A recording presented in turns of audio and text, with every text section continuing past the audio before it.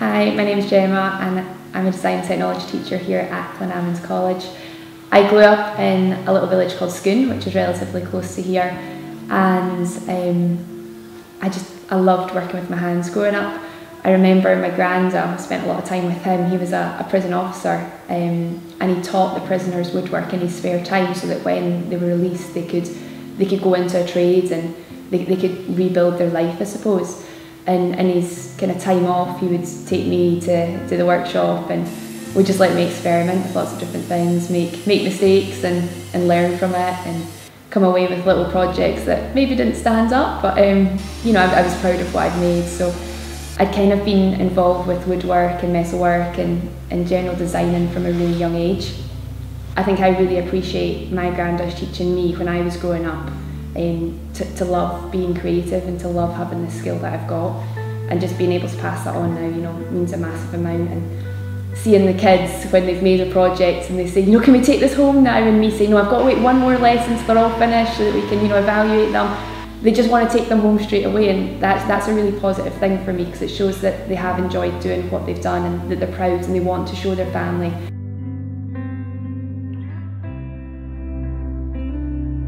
Something I've tried to do here is, is give the kids more choice in regards to what they make. So we allow them to design their own project and then go and make that.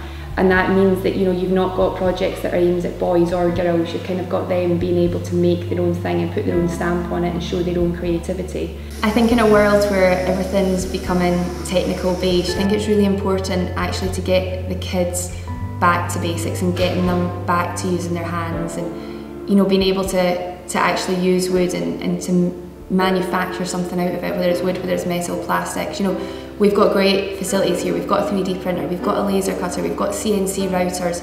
They're all computer controlled. And yes, you know, it's great that the kids know how to use them, but actually it's just as important to be able to teach them how to use their hands, you know, how to create something without the use of a computer you know, the kids we've got now are, are going to be our future. They're going to be designing the products that, that we all use. We need them to be creative. We, we don't want to see the same things coming out. You know, we want to see products that can actually solve a problem. To teach kids now how to how to plan for the future and how to make things exciting and you know be successful. I think that's really important. It's not just a case of knocking a product together that's that's going to be put to one side. It's about creating something that's going to be useful in the future and I remember coming down the front avenue with my, my CV on my lap um, to hand it in and thinking, wow, you know, what an absolutely stunning place to be and just the environment was just so inspirational.